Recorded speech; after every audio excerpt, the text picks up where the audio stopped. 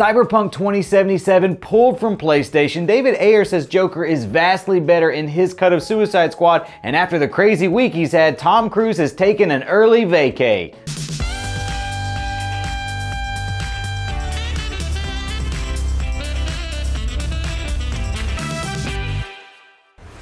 Hello, I'm Chris Killian, and I still haven't seen the Mandalorian finale.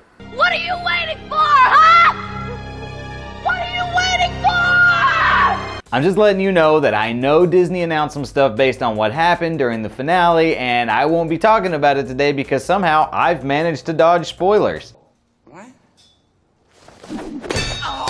Now, it's no secret Cyberpunk is riddled with bugs, but in the first instance I can recall, Sony has now removed Cyberpunk from the PlayStation Store indefinitely, leaving both PS4 and PS5 players with no option to purchase the game digitally. But dude, what are we gonna play? In addition to this, Sony announced they're offering full refunds for anyone who purchased the game via the PlayStation Store, and it has nothing to do with the absurd nudity. At least we hope. Yeah.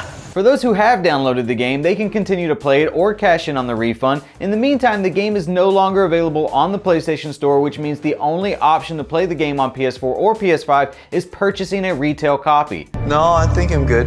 Good. CD Projekt Red released a statement saying they are still going to be offering updates for the game and are working hard to improve it so that Sony will hopefully put the game back online soon. Dude, I got a very bad feeling about this. Xbox also jumped in and announced that while they aren't pulling it, they are offering full refunds for anyone who's not happy with the game. Just a quick reminder that Spider-Man 3 is going to be swinging into theaters exactly one year from today, or going straight to Disney Plus, who knows. But my point is, we got a long way to go, so let's relax on all those Spider-Man 3 rumors, Kay? Please, do not tell me to relax. Ever since Zack Snyder's cut for Justice League got greenlit, people have been holding out hope that David Ayer will get to put his version of Suicide Squad out into the universe. And David has fanned those flames again, remarking that the Jared Leto's Joker in his cut of the film is vastly better.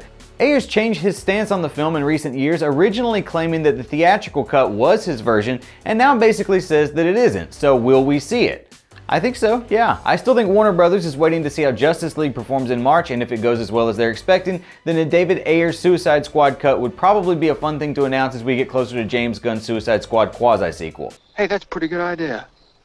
After his rant leaked this week in the press, Tom Cruise has decided to take his holiday break early, reportedly leaving the set of Mission Impossible 7 to fly to Miami for the holidays and let tensions cool down so the production can resume as planned after the new year. He is a man who provides, provides, provides. And that's pretty much it for today. I'm gonna go watch the Mandalorian finale, but you guys have a great weekend. You can find me on Instagram at CK Comedy if you promise not to send me any spoilers. Don't forget to wash your hands, and thanks for coming to comicbook.com for the best geek news. Okay, bye now.